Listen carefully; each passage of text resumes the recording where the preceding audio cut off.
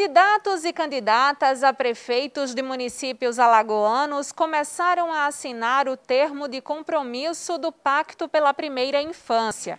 O objetivo do documento proposto pela Frente Parlamentar da Primeira Infância é que os candidatos assumam o compromisso público ao iniciarem o mandato em 2021, com um governo comprometido com as crianças.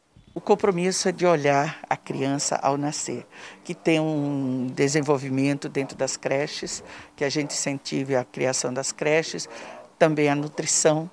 Nós temos que valorizar muito a questão da alimentação da criança nos primeiros anos e nós queremos que o gestor futuro né, ele tenha esse compromisso, que ele compreenda que a criança é o amanhã.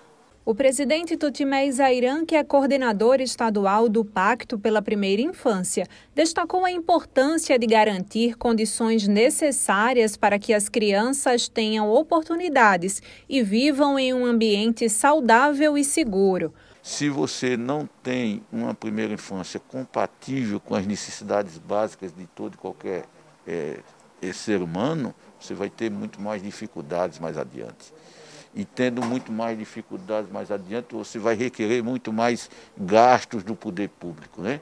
Então, é melhor, portanto, investir desde cedo, né?